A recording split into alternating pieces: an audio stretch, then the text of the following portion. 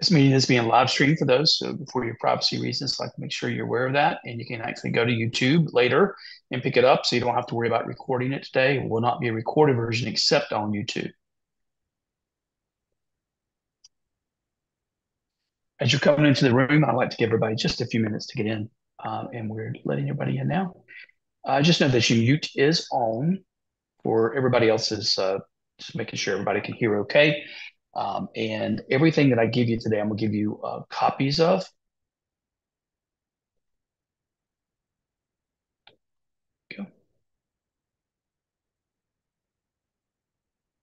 So we could have that um, there. We're not allowed to video. And everything's set up here. Just take just a few minutes. Gonna have a full room. I thought everybody was gonna be off for Thanksgiving, so I wanted to do this one here before everybody left. Uh, but so we're going to have a full room again today. So thank you all for taking time to come. The rainy day here in Georgia. We've got some bad weather. Hopefully, we won't have any issues. If we do, just know that um, if we do go offline, uh, you can certainly come. Just click right back on, and you can come right back to the room. Okay. Excuse me, Mark. Is this going to be recorded? It is, is recorded. Okay. Good afternoon, and it's going to be recorded live on YouTube. It is live on YouTube now doesn't record your notes or anything today, okay? But it, it, will be available for you later. So you can just click on there and watch it on your own own time. I like to do that when possible. Okay. Give everybody just a couple more minutes it down. I'll let everybody in the room. You are able to unmute yourself, um, uh, and you also can ask questions in the chat box. You you know, if you've been to any of the meetings, like I'd like to hear about your what you're looking for, and I'll try to build some of my comments based on what you asked me here today. Okay, now here's the chat box. Okay, before we get started, I'm going to give you access to the template folder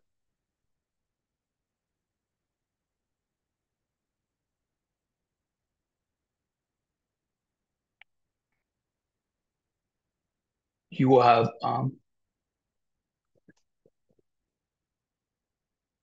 the ability to go in and copy these. If you're not familiar with Google Drives, then get familiar. They're so easy to use and they're free.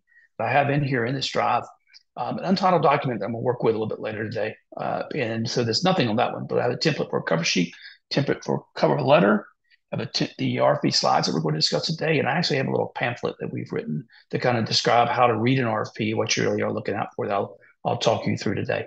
So here's 204. Slow down a little bit. Let's get started. Thank you uh, once again for coming together uh, and letting me talk to you about the request for proposal. I'm going to try to build features today um, around AI, artificial intelligence, to help you in your process of actually writing responses and also reviewing information. And so uh, uh, just all still learning in some of that. Um, and this is a product of GovDirections. School is uh, our method of teaching. We've been doing this since 2006 on the teaching part, but have been around since 1998. Um, since uh, let's see here, open this. Since 1998, uh, and and serving you for research and finding the bids. And I'll, I'll just point out as people, individuals still come in room, this is not a recorded session uh, individually. You can go to YouTube Live afterwards and get a copy. It'll be online there available to you. Um, in addition, you can also um, get a copy of the uh, documents in the drive that I just gave you access to. It's freely available to you. Uh, GovSchool uh, is a product where we actually teach and try to help you not only find the bids, but actually learn how to win. And uh, this is a service that we have found everybody really likes. And as you can see here, on a Tuesday and during Thanksgiving week, we've got about 55 in here in this room now, and we continue to let folks in. I'll continue to try to do that. If you get knocked off, let me know. Uh, if you sit there, you should be able to get back in pretty quickly um, if that should happen to you. Uh, why I do this, I'm one of the founders of Gov Directions. I've been doing this 30 plus years now. I'm also a professor at the uh, University of Georgia, where I teach in a graduate program, and I help future writers of RFPs, the ones who are actually preparing the documents that you respond to. Uh, I help them understand how to do that and teach them for future. In fact, I'm gonna, I do this as an adjunct professor, and I uh, about every other year, and I actually will be teaching this coming um, spring, starting up next uh, the first month of January, first week of January. Um, and so we serve in our organization about 120,000 active members who I think we just passed 123,000 uh, of you guys who want access to this biz primary objective is to find and win, but also to help uh, teach you how to actually respond to them. In today's session, what I'm going to do is I'm going to walk through with you again the structure of a request for proposal. What you we kind of need to look out for whenever you first see them. Um, I believe in an experiential learning process, meaning that we're going to actually dive into it, find a live one, and then respond to it together. Uh, and uh, as you know, if you work with me in any capacity, I do the same thing with you. It's better to learn by doing. I'm not one to have you sit and wait. You know, you really just need to dive into it. I know a lot of us, a lot of times I get calls from folks saying, Hey, I need to wait till I'm certified, wait till I'm this, wait till I'm that. I'm like, you know, if you're in business, you're ready to go. We want you going out there bidding. Governments uh, really need a response. In fact, we, we're going to have a, looks like a $7 trillion marketplace this coming fiscal year the largest largest spending period in American history. Uh, you know, with active contracts are really pumping now that the Infrastructure Act is in full gear. You really are seeing those out there. So it's a it's a vital part of any private business's um, business plan, and you should hopefully uh, be pursuing those. I'm going to walk through those sections, explain the importance, and this is all done through an actual um, RFP. Um, as always, I like to start off with the slides, remembering that it's supposed to be hard. If we're easy, everyone would do it. So you're here on, on this Wednesday uh, afternoon, uh, excuse me, on a Tuesday afternoon on purpose, and uh, and you're you're here to learn. If you're taking that extra step, and a lot of folks just don't do that.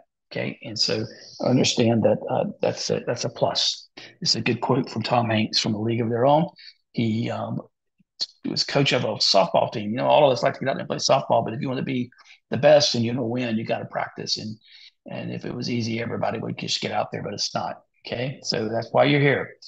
I'm going to refer to RFPs today just in generic form, but just know that the request for proposal is a way for governments to engage with you. Um, all private sector companies have ways for them to lay out the the uh, the what they're seeking, um, and so they can treat you all equally. There's other contracting instruments that you'll see: request for information, where they're actually seeking to see, uh, you know, uh, determine if there's a marketplace, looking to understand who's able to uh, to provide.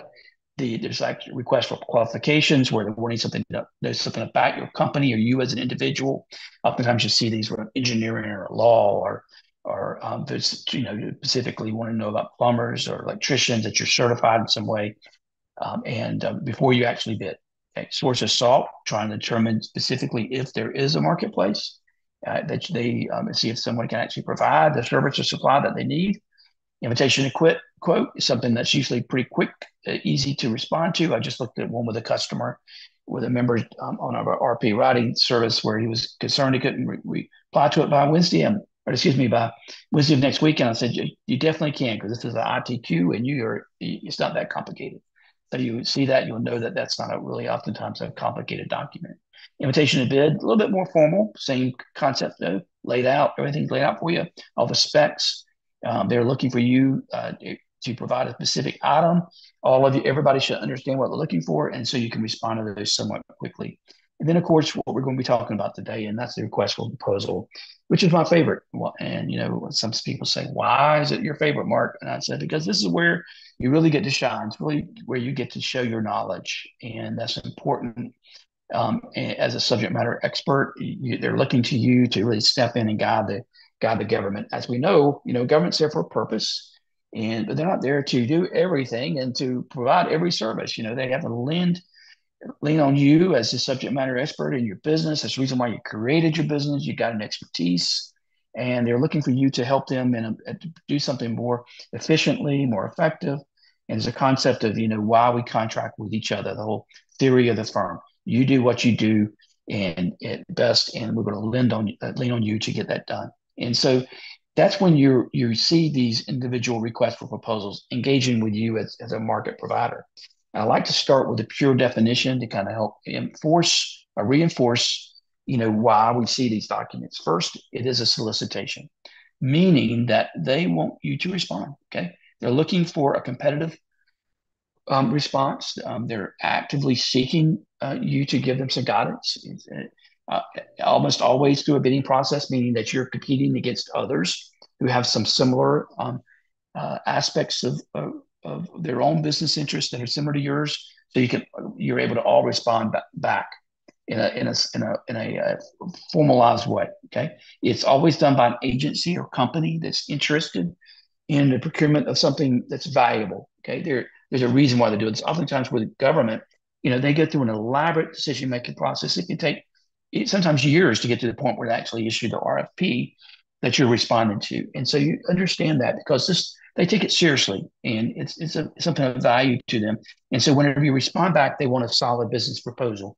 They want you to take take a, a similar approach where you're um, they're initially coming to you with their request and then you're responding to them in a professional way and you have you put a lot of thought into it and you're able to give them um, answers that they can then put, potentially move straight to an actual hire of you. And, and so that's the goal of that. So the pure definition there of a request for proposal is to engage you to provide that valuable service. Um, when you look at a RFP, um, you will see um, some common themes. Okay, first you're going to see almost always a statement of work. Okay, and that's still I think the most important part of documents. Some say some folks will say no, it's the deliverables or the specs, but I think it's the statement of work. You know, the clarity that it should speak to you. I often use this um, uh, note that if that when you read the statement of work, it should be usually about a paragraph or two, uh, sometimes even shorter, because you know the goal is to be accurate, to be brief, and to be clear, clear in what you're seeking. Initially, that's the burden of the government. Uh, when you respond, it becomes your burden, but initially that's theirs. So if that statement of work, whenever you read it, if it's not making this song sing in the back of your head, you're the one that I wanted to find, then it's not for you. Just move on. There's a lot of opportunities. 1.5 million calls for business proposals issued every year you, will find something that that that does this for you. Okay, and so understand. So you're if you're really thinking through it and trying to make it work for you, it's just not the one.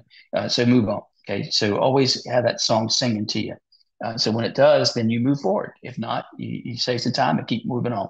Uh, the technical specs, next next part. This is where you really see. Okay, I thought it matched me. Now, does it really actually? Can I actually do what they're asking? And there, they're listing them out. Oftentimes in an ordered process, so you can go, you step through it, and you understand what they're asking you to reply to. Um, and then you'll see the schedule. And this is how the first side of it, how you can respond back to the RFP. What's the timeline?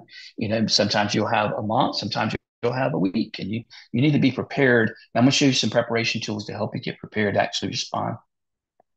Um, the list of deliverables, how they want you to respond. And I, I, just was looking at another one this morning. There, it was really laid out uh, for the the actual RFP, and actually had dollar numbers uh, assigned to it. So when you meet step one, you're getting you're getting five thousand dollars. When you meet step two, you're getting fifteen thousand dollars, and and so on. So sometimes they're very specific, almost always ordered, but usually driving the pricing structure of the actual proposal in order to deliver the technical specs that you're that they're seeking. Okay, so pay attention to those. You need to be able to meet those. And I always step back and say, you know, the statement of work needs to really match you 100%. You know, uh, but the rest, the technical specs and list of deliverables, then you can you can, you know, if you can't meet everything, it's okay. You know, don't have to walk away from it. Um, a lot of times there, this is the ideal situation. You can get up to 80%, 70%, and that's sufficient enough to actually respond back or a way for you to step out and build a team of others who might be able to help you fulfill that 100% goal. Okay. So just because you can't do everything in the technical spec or the list of deliverable uh, doesn't mean you should, you should abandon the project. That's my thought on that. Okay. And then, of course, the contract terms and conditions. When you see those, you need to live with them. Okay. Governments don't change contract terms and conditions. It's not like you and I where we can give a little bit of flexibility. And oftentimes, that you know, in the government directions, we don't even have require you to have a contract. You can come in and out when you need to, and we're pretty flexible. But in government, he's going to have that those contracts, and you have to live with them. The uh, city attorney, the county attorney, the state's attorney is not going to make any adjustments for you. So that oftentimes drives your profit center. So you need to make sure that you are um, that you can live with them. The format of the proposal. This is the I want to think one of the best parts of uh, uh, working with government is they tell you how what they want you to do. Uh, you don't have to step back and really think about it. You know, and a lot of times when you're bidding or you're responding to a private company, you got to be able to really creative. Well, government doesn't necessarily value the creativity. They want it more formalized. They want it more standardized. And the reason why is they want to be able to match you uh, and compare you up against others. Okay. And so that they can do that in an efficient way. Uh, and so that's important and, and, and treat you all equally. And so that you know what you're, you're being measured against. In fact, this is one of the reasons why you'll, you'll oftentimes see when you, you email a, a procurement officer during this initial sort of cone of silence where the bid's on the street or the RFP's on the street. They don't really respond. They'll have a formalized way for you to ask questions, you know, because they want to make sure everybody is getting the same answers and everybody is, is has equal treatment. Okay, and so that format is important. It, it also will drive parts of, of the document itself and what they're looking for in terms of qualifications and experience. Okay. And once again, while you know it's ideal, they'll always say we want to see this level of experience, this level of qualification, and that's perfect to win. But uh, you know, it's, sometimes it's difficult. There's a lot of new ones here. I mean, bet 50% of the of the folks on this call today are, are new.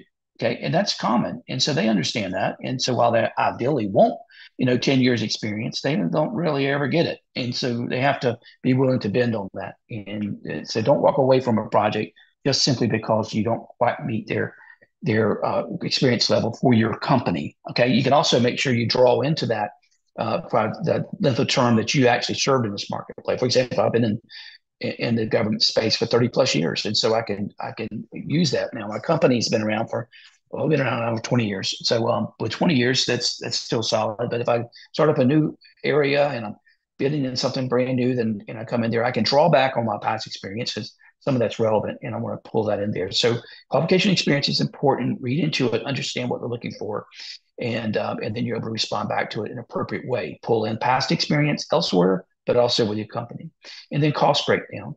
Uh, here, uh, government oftentimes in the RFP they'll want that separate, or or they'll tell you that you know how to propose back to them. And so you want to have in your own uh, portfolio of, of details and your templates that you build different ways to cost out yourself. Sometimes it may be the, by the hour, maybe by the widget, maybe by the day, maybe you know by a, a project basis as a whole. And so have that ready to go um, and uh, prepare so you you're not spending a lot of time thinking about it. Okay, uh, but then you almost always break that down in a different way for the individual government to uh, to look at. And whenever you look at cost and look at um, you know, and other factors related to cost, you, you oftentimes really refer back to the overall evaluation criteria. Okay, because you know, cost oftentimes is usually about twenty to thirty percent of the actual bid uh, re- review, and I know a lot of us really focus in on that uh, when we first started Specifically, you try to uh, understand how to do pricing, but then really start realizing after you start submitting some that seventy percent of the actual decision is made on other parts of it. So you know, in order to get really uh, to to win, you got to have those seventy percent, not necessarily the lowest cost, and that's important. And I always say that you know the first thing to remember when you're preparing a response to an RFP is that you really are trying to get past the procurement officer. Okay, that's the first person, not the decision, actual final decision maker. So, so that RFP that you respond, the document you prepare needs to make sure you you know you dot the i's across the t's, and you give them exactly what they're looking and you and you and you you get to the next stage. And at the next stage then you get to be really creative you know and then you get to show your knowledge and your skills. And so you have a pitch deck ready to go that goes into a little bit more elaborate detail than just the actual response to the RFP but understanding that in the evaluation criteria itself it's measured uh, oftentimes a little bit different uh, at the first stage than it is at the second stage and so you want to always measure and run a test on yourself before you uh, submit a a proposal back to an RFP. But here's are the areas when you first open up that RFP, the first thing you want to do is take a look at that statement of work. It's going to say, you're the one that I wanted to find to you. And if it does, then you can move along to the other parts and then you can read through it and pay attention to those areas that we discussed. Um, you're going to always read the entire proposal.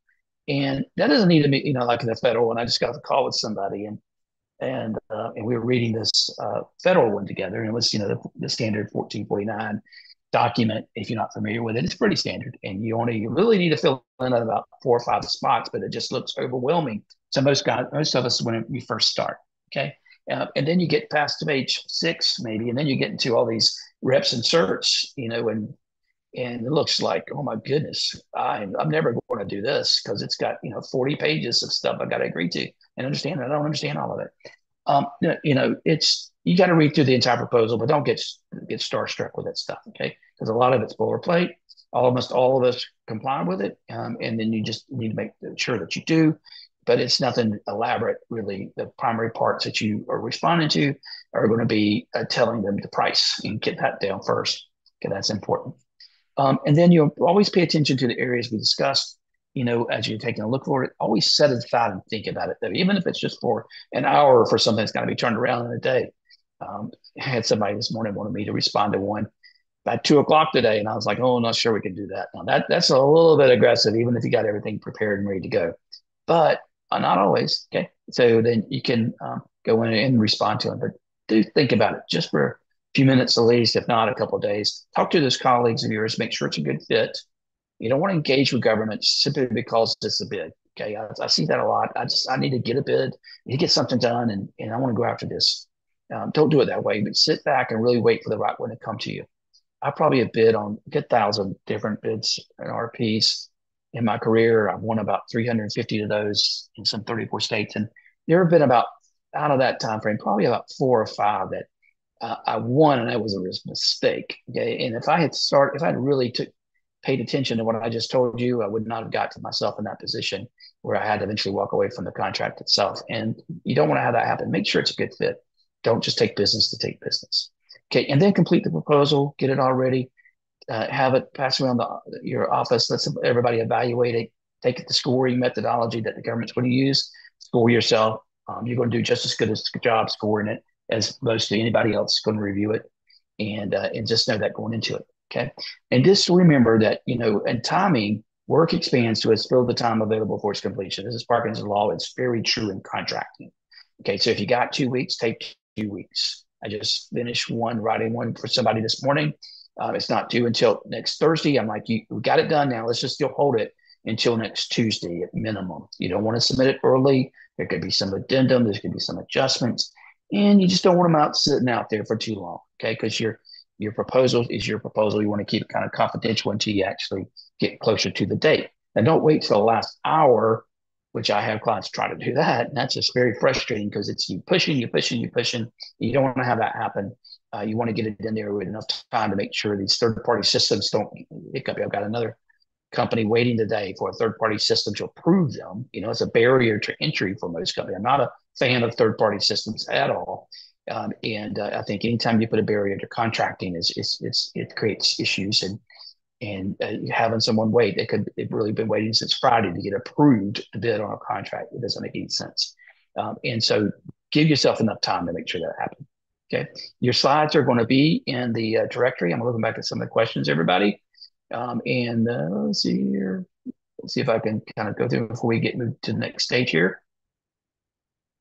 Do we assist in writing sole source opportunities? Sole source opportunities are a little different. Um, you can respond to them whenever you can basically um, fulfill uh, the obligation that government's seeking. But a sole source, they really have already decided what they're going to do. So it's a long shot, and we can assist you with that. But you're just you're basically helping them understand that this company that they're looking at working with is not the only company. Okay, the sole source has moved very far along, and those are documents that are, are a little bit unique. But yes, any any response to any uh, type of contracting instrument with the federal government, state government, local government, we have expertise in working with you on that. Slides are going to be available in a folder. I'll give that to you in a reminder in just a minute. And also blessings to you, Crystal. I hope everybody is preparing for the Thanksgiving holiday. I, I can't tell you how thankful we, we are that you use our services. We've been doing this since uh, 1998, and we uh, really enjoy what we do. I hope we come across to the, that way. It's uh, it's it's a, a, good profession. We've kind of stumbled into it. Frankly, we started this company as a way to really find bids and it was, it was when the internet was just springboarding, and we wanted to stay on top of it. used to back in the old days, you had to go and scour through newspapers at a library. I've been around long enough to know that. Um, and because you were in the back of the newspapers, they were advertising. Then you have to, you know, write to them and, or call them and get the information. Then the fax came along, and they were able to fax things to you to get these hundred page faxes coming in, read, eat up all your ink. And now it's all just so great. It's right there. And not only that, you have all these uh, tools like AI that can help you read things just very quickly. And I'm going to show you some of that. In this process of talking today, I'm going to show you how to organize things. Okay, first, use a Google Drive. It's free. Okay, there are other tools. I'm, I'm a big uh, proponent of something called Monday.com. It's actually a great tool if you want to find one that can actually help you. I saw another client using HubSpot. There's some great CRM tools that are out there that can help you organize your flow of information.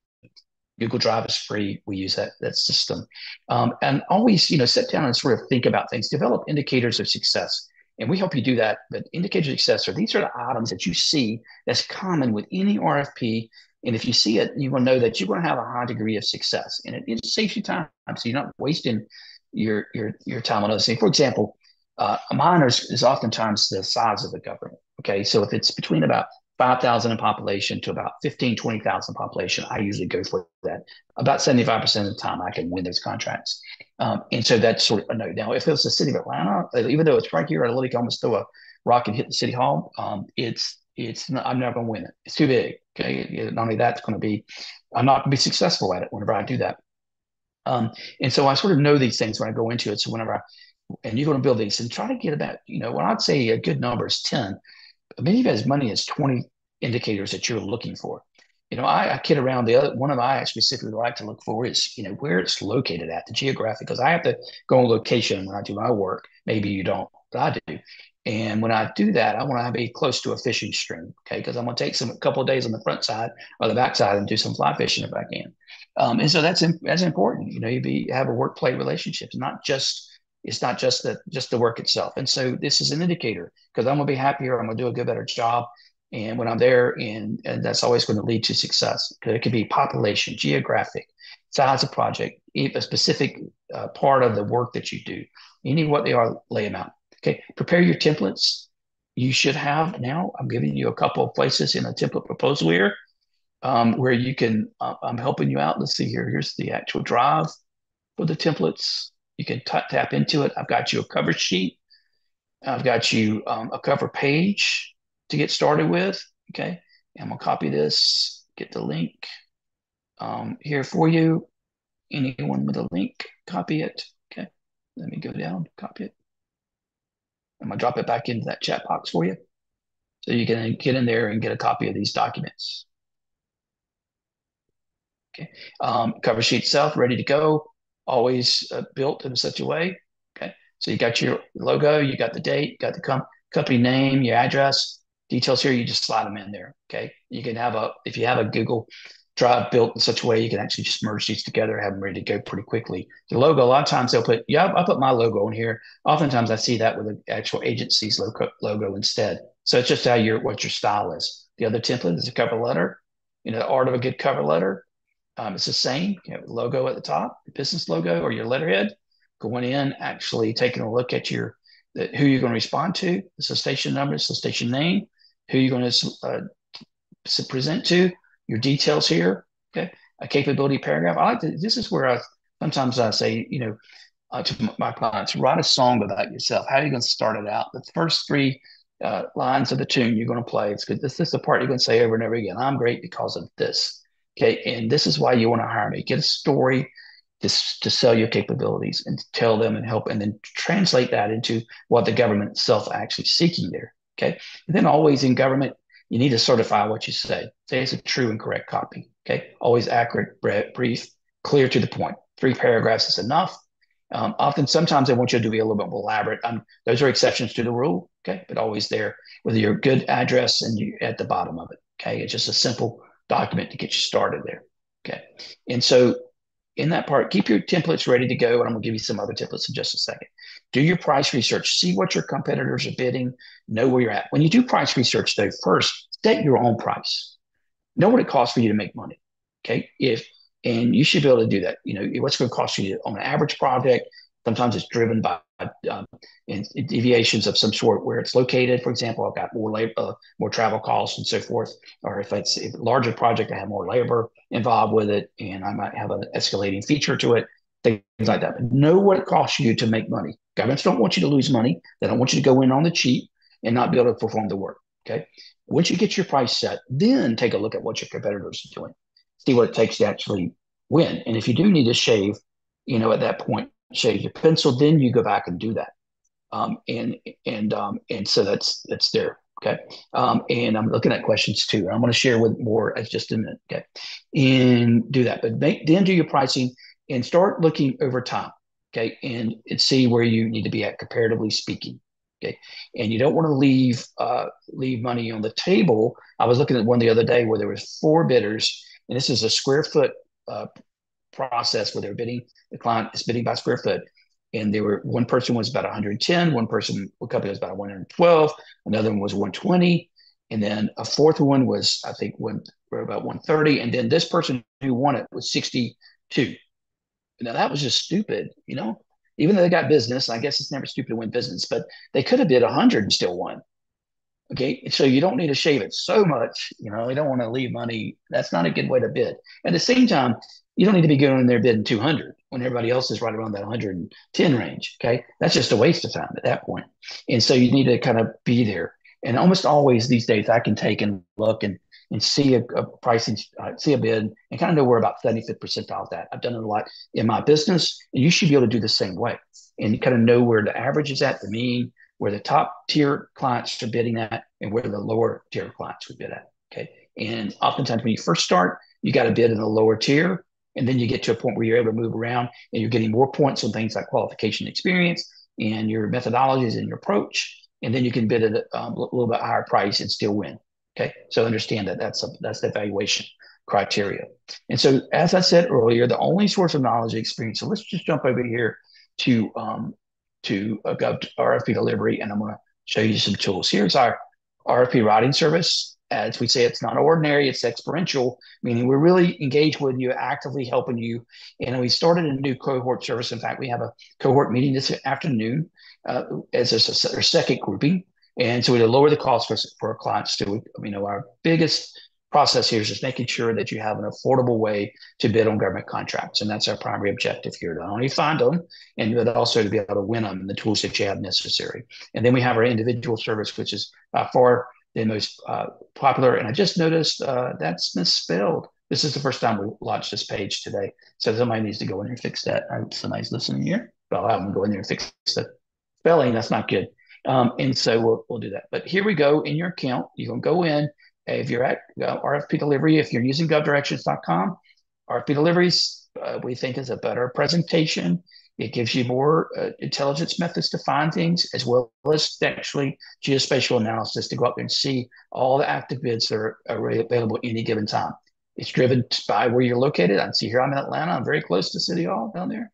Okay, but I can then scan out to a complete view and see all of the individual contracts that are available at any given time and then drill into those. Okay. And as you can see, this is a Google mapping system. So it draws you and pulls in there and, and see there's a lot of bids. We're in 74 countries now. And so you can come and see opportunity all over the place. Okay. And so our mapping's there. It will pull in as well in a different view and gives you a big global approach to it. Come in and actually separate by industry over there. Okay. But in your uh, main folder, as you drive into it, um, you can come in and you can uh, take a look and you can use your filters.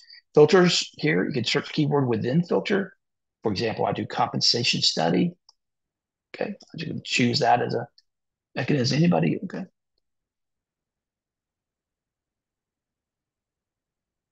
Okay. That's correct. Somebody's asking about the RFP template. It's not, there's no data on that one just yet. Okay.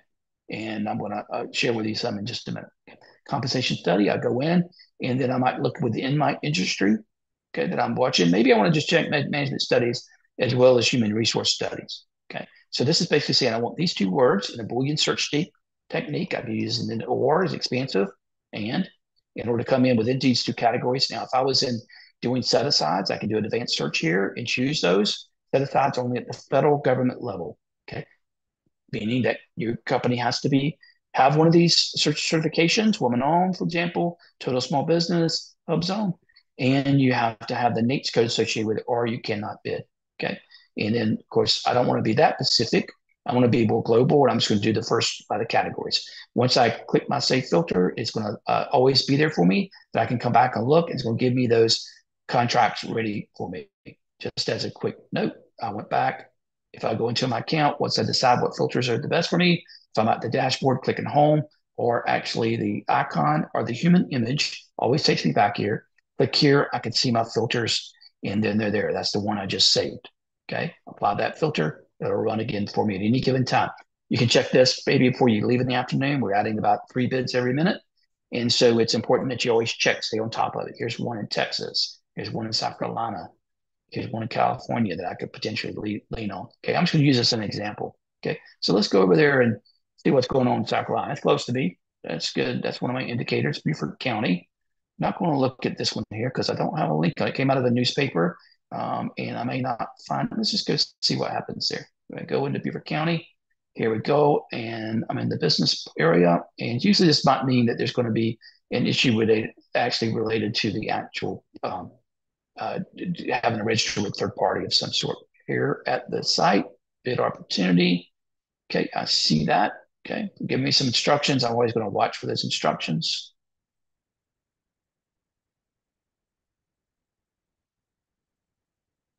And this is live. So is it current view sealed? Request for quotes. The protest. Okay. See if this is it. Here we go.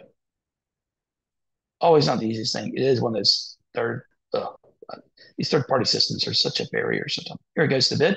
Okay. Go in. I have to log in to view documents. Is this to view a, a public public document?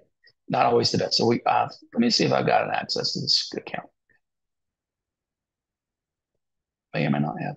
Not, I'm gonna go in and yep, not not as not as going to be there. Let's go back and find another one. Yeah. If you ever get to that point, we will actually pull that for you. Just give us a call. We'd be glad to get through and actually do that for you. Open this one up instead. Let's go in here. It's going to be in Del Rio, Texas. I like Texas too. I do a lot of work in Texas. Going in. Oh, here's my document. A little bit better. I like these when they're opened up and they get more, they get better responses, get more responses. It, it's better for the government to do that. If I've got a question, I'm going to email Lewis there. Okay, here's my document. I'm going to download it. Okay, first thing I'm going to do is open that up. And what did I tell you we're going to look for? First thing we're going to look for is the actual scope. Okay, it will give me some background. Here I'm actually going to start picking up on some um, some indicators. Okay, 37,000 population. I will go up to about 50,000. So that's an indicator for me. Okay, it's it's in a good location. It's near with San Antonio. A great place to you fly into. I can get in there pretty uh, inexpensively. It becomes cost effective. So this is an indicator what I'm watching for. Um, it talks to me about the type of government, council manager form of government. That's important. It's how things are decided. You learn that about the actual type of governments, and uh, and so this is a it's an ideal environment for me to work in. So three indicators that I've got is that one of those is the type of government. Okay, and going in there, and I've got number of employees. That's another indicator. They're 450. I usually don't go over a thousand, so I'm in a in a good um, number. They're about mid range. Okay, so stepping into here's my objective, what they're trying to accomplish. Okay, this is really kind of the scope. Okay, as well. If they don't have a pure scope of work defined, so going to always see it called exactly what I told you earlier, uh, but we're going to look for it. Okay, and so what they want me to do is to help them with the classic comp study of public employees is exactly what I do. They didn't mention the word union. That's not something I'm concerned about.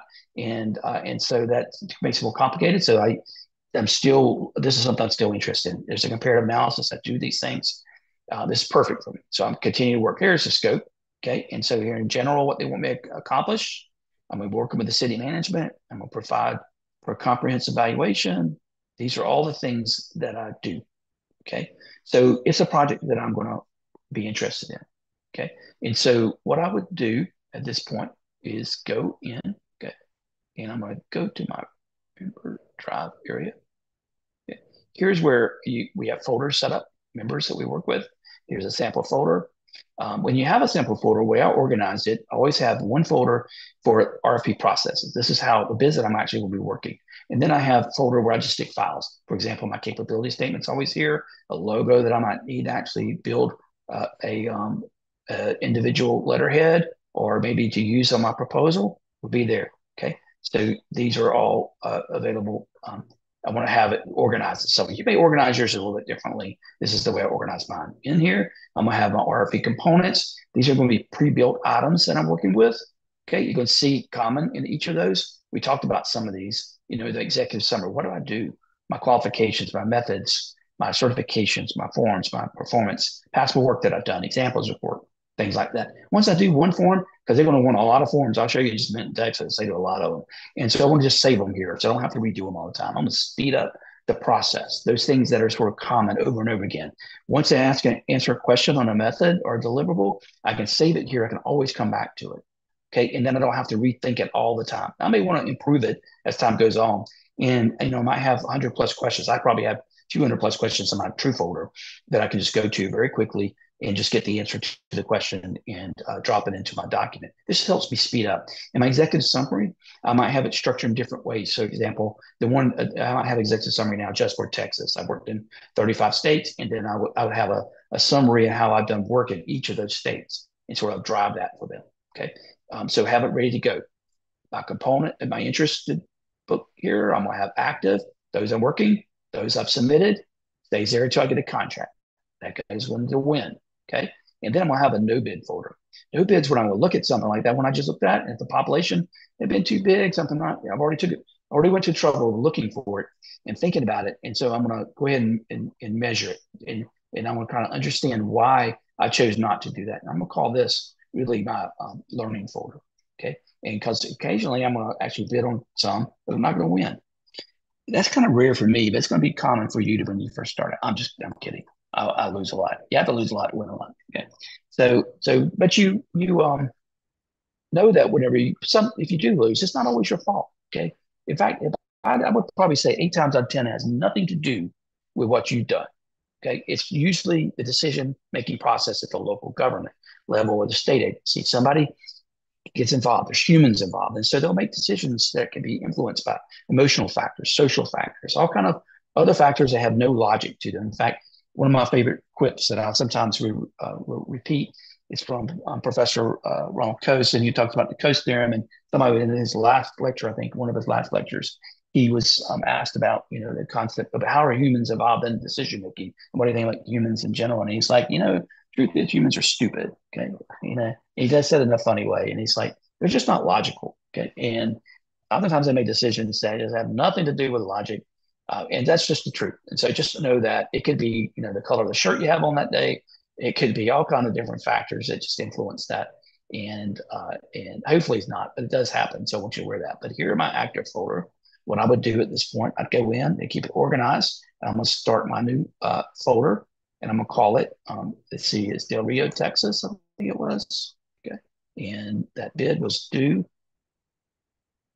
on a specific date. I've got me too many windows up here. Okay. December 18th. I got a little bit of time. Okay.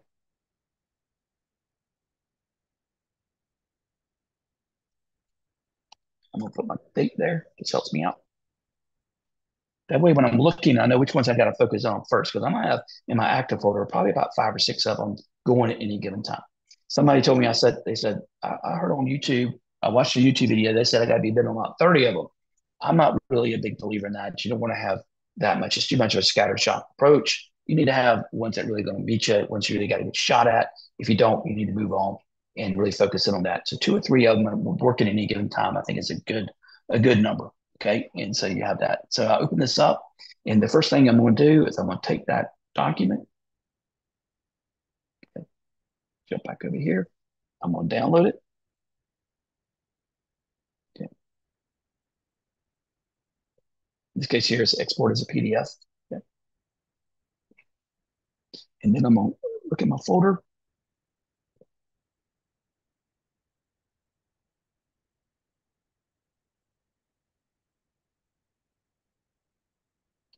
And I'm gonna mm-hmm. drag that document so I can share it with whoever else I'm gonna. I'm gonna give them a quick access to it. Okay. Drag it in here, and it's gonna be there for me. I'm gonna open it up on here and we start working it from this point. Okay, now so I already have this document opened. Okay, over here. So I'm gonna actually just drag it over here so it's a little bit closer. I got too many windows here. Okay, and then I'm gonna start pulling out some specific information. Okay. As I do that, the first thing I want to do is take a look at the scope. Okay.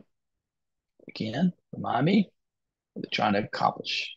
Going to tell me how I communicate what I'm going to do with it. Uh, my deliverables are kind of being built in here as well. And I'm going to start looking for, um, here are all the itemized listings. Okay. Proposal instructions. Now I promised you guys that I would actually pull in some AI here. So I'm going to open up another tab, one more. I'm going to drag this one over here again. Get keep it close. Okay. I'm gonna grab this URL that this document's at, and I'm gonna go to Chat PDF. Now you could do ChatGPT, other tools. There's more, more and more tools as you know, competition starting to grow in the AI field. And I can go in here, I can drop in my URL. a lot of drama, in fact, I think, with uh, uh, OpenAI and, and Microsoft and others following on the internet. But here you go. There, they didn't actually pull that up. So usually it works straight away. Let's just go right here, drop my PDF here, since it didn't open up. Yeah. Sometimes it goes straight to the URL. Uh, it starts here, I had to drop in the PDF. Okay, so it starts me out, prompts me some questions. So it starts engaging me, some thinking process. So I, you know, I encourage you to to use these tools because it does allow you, it helps you in your thinking process with things. And so it gives me some questions. What's the purpose of the study? How many positions, stuff like that. What I'm, deadline is a good one to start with. So I'll say, okay, I'll, I mean what the deadline is. Okay, deadline's December 18th. Okay, so I might want to come in, ask, ask additional question. Okay, and I've got to move on. So here you ask the question, you know, what is the format of the proposal? You know, I could, I'm smart enough on this document, it's not 200 pages long that I can actually go through and, and figure that out myself. But, you know, I might want to do it just to make sure. Oh, it doesn't contain a specific information in the format. Or does state the proposal should address all the points outlined in the RFP. So that's something important.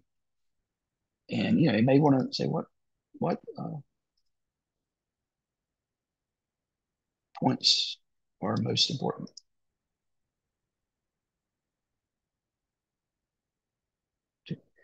you know, it's still growing. Hey, I'm a big believer in doing it or doing it with the old human way. Okay. So just know that uh, it's there, but it's not always the, the answer to everybody's questions. I think technology is great to, to a level. Okay. So we go in here and what we're going to do then is we're going to start a new response. Okay. Go in, create, share. We'll call it response. Okay. Now, I'm always going to have some basics here to start off with. First, it's going to be my cover letter. And then it's going to be my cover sheet. And that's going to be my proposal. Okay. And what I usually do is go ahead and insert. Okay. And I'm going to break it, do a section break each time. Okay. Just helps me in my formatting, keeps it all organized and then I can have different section parts if I need to. May not eventually at the end. I may come back and drop that off. In my proposal, go ahead and just add me a table of contents.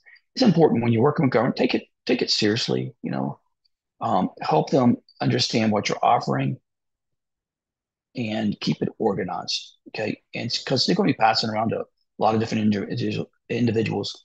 Your your table of contents is always helpful your cover sheet just always it, it sells your company, helps them understand um, who you are. Okay, and so you got that document there, um, and so we have that. It's just the cover sheet. Okay.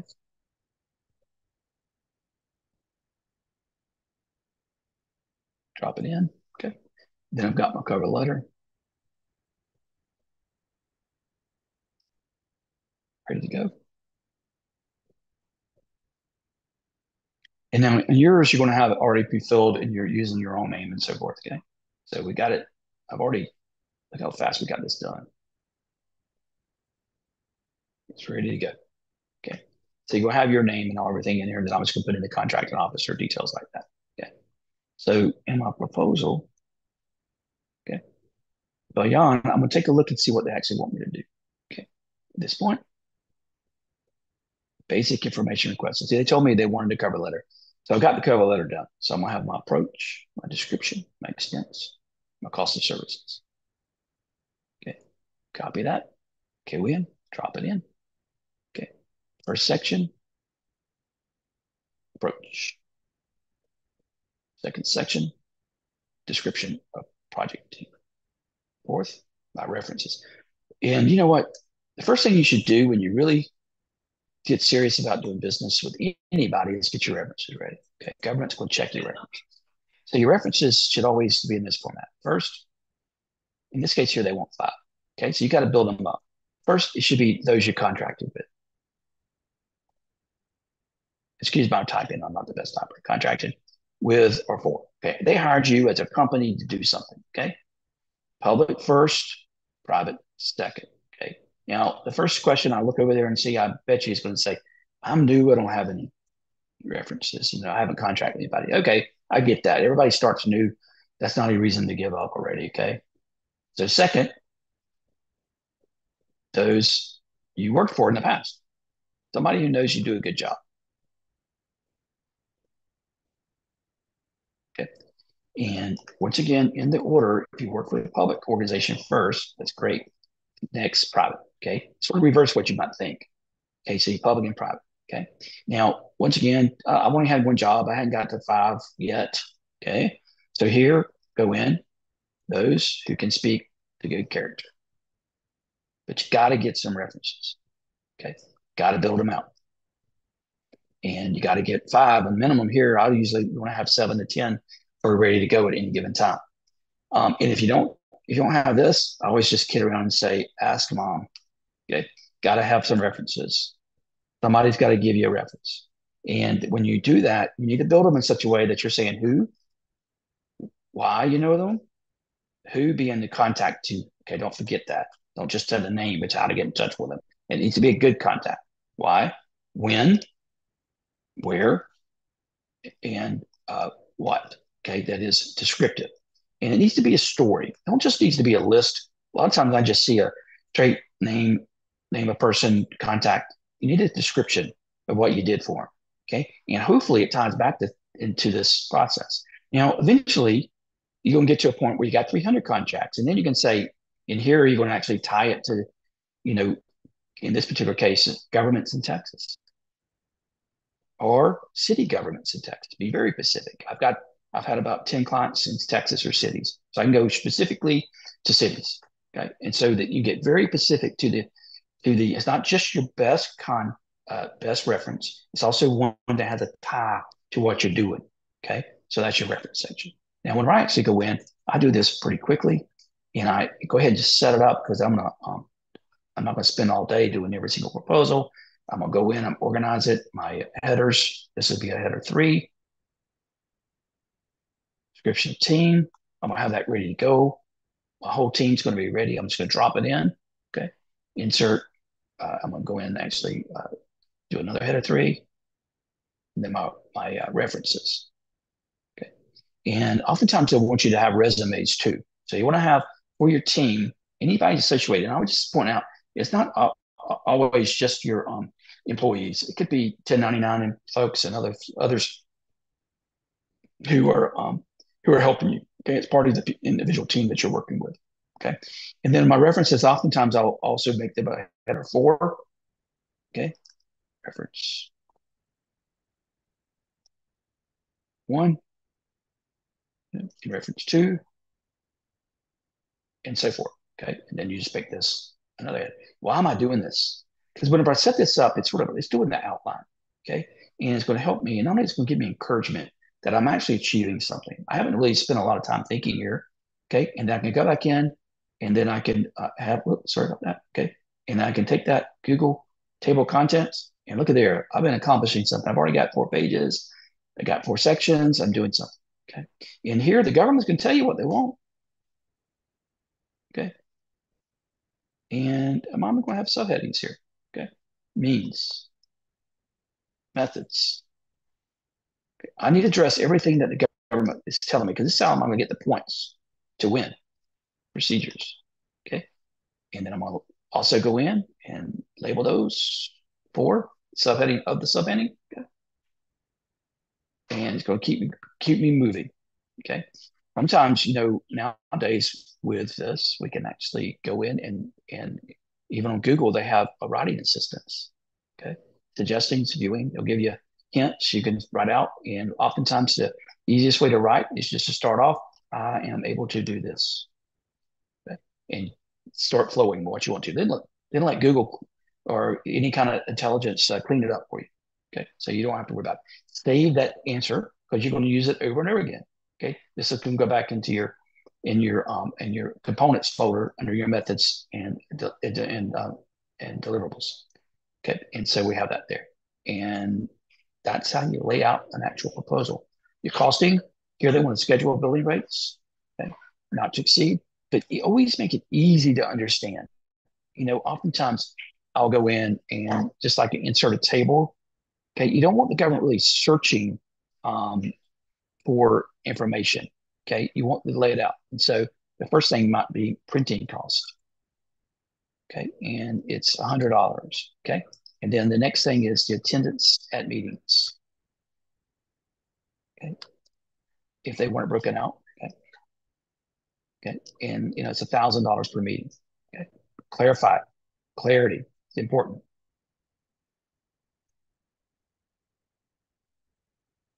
Okay, so, so always be clear in how you give answers to things. Give it a table. Okay.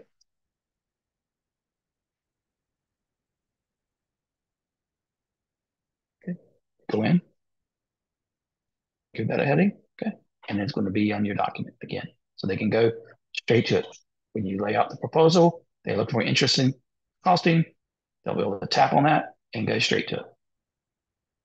Okay. So that's how I sort of that's how I lay it out and and and uh, using both methods of just true writing as well as artificial intelligence and others. Okay, so let me go back over here. I got all these people waiting to still get in. I'm so sorry. There we go. And I want you to look at some of the questions that you have. And You start asking some questions. At this point in time, I'm going to terminate YouTube Live so that you can uh, ask questions directly of me if you'd like to. But that's what I'd hope to accomplish today with our time. I'll come back to these. Uh, let me just go real quick to the actual uh, slide. Okay. And just know that you can um, uh, we uh, appreciate your attendance. Um, you're always welcome, and I thank you for joining. For those who don't want to stay for the Q and A part, but in the Q and A, okay, go in and take a look at some of the questions you got. Um, will this meeting be available for viewing later on? It is. So you go to YouTube Live, excuse me, youtube.com slash govdirections